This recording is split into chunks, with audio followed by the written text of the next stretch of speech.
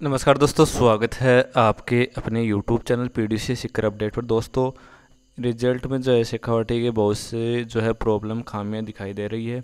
अब जो B S C second year का रिज़ल्ट जारी हुआ है, उसमें भी जो है स्टूडेंट परेशान हो चुके हैं। किसी का रिज़ल्ट नहीं दिखा रहा है तो किसी का डबल ज़ीरो दिखा रहा है। और साथ ही कई कईयों के जो E F P T E F P T लिखा हुआ आ रहा है। और इसका जो है स्टूडेंट कन्फ्यूज़ में किसका मतलब क्या होता है? दोस्तों, इसका मतलब पहले तो मैं बता देता हूँ कि आपका फुल फॉर्म है एलिजिबल फॉर पार्ट थर्ड मतलब ये आप फेल नहीं हुए, पार्ट थर्ड में जो है आप जा, जो है जानने लायक हो गए हो। मतलब आपके किसी एक सब्जेक्ट में जो है बेक आई है। इसका मतलब यही होता है कि आप सेकंड ईयर में पास होकर थर्ड ईयर में जा चुके हो और जो बेक आई है, वो सब्जेक्ट आप थर्ड ईयर में जो है पास कर सकते हो। मतलब बैठ सकते हो और जिस सब्जेक्ट बेक आया है, उसके पेपर आपको देने होंगे, ठीक है?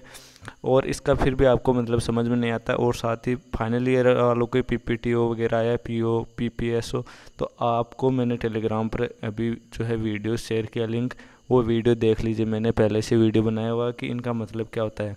सेकेंड ईयर और फाइनल ईयर वालों के स्टूडेंट को जो ये प्रॉब्लम आ रही है। साथ ही डबल ज़ीरो वगैरह आ रहा है तो उनको दो दो दिन जो है यूनिवर्सिटी ने कहा कि दो दिन में हम रिज़ल्ट अपडेट कर देंगे, फिर भी नहीं होता है तो आपको जो है यूनिवर्सिटी में जाना होगा। अपने जो है जो आपकी जो एडमिट कार्ड वगैरह है, वो लेकर और उन्हें बताना है कि हमारे ये जो है रिज़ल्ट में डबल ज़ीरो आ रहा है या फिर ये जो है रोल नंबर नोट फाउंड वगैरह बता रहा है।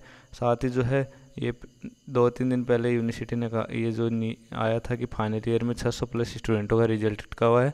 दो दिन आपको वेट करना है। यूनिवर्सिटी जो है स्टूडेंटों को जो है परेशान कर रही है। स्टूडेंटों का भविष्य जो खतरे में डाल हैं क्योंकि वो अगली कक्षा में बैठने लायक भी नहीं रहे हैं।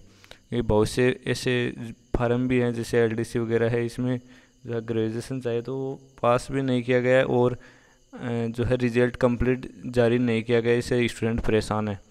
और साथ ही ना ही एम ए प्रवेश में बैठने लग रहे हैं।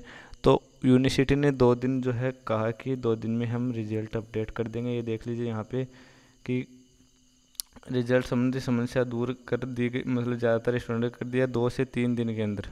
यहाँ पे देख लीजिए, आया है कि दो से तीन दिन के दूर करवा देंगे मतलब आप एक बार जो है संडे तक जो है वेट करिए।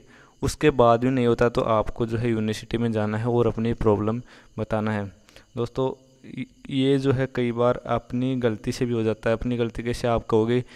हम जैसे एग्ज़ाम देते हैं तो हम कई बार रोल नंबर गलत लिख देते हैं।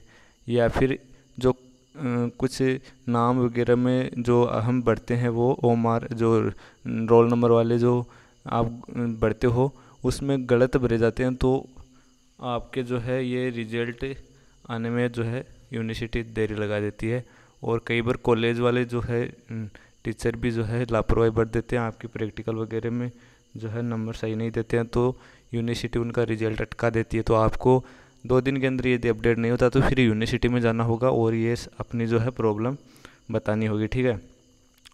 और जो है आपकी सही कर दी जाएगी प्रॉब्लम फिर भी नहीं होती है तो आप जैसे डबल ज़ीरो आ रहा है, किसी का सही में आ रहा है यूनिवर्सिटी कहेगी कि नहीं सही होगा तो आप रीचेक लगा सकते हो।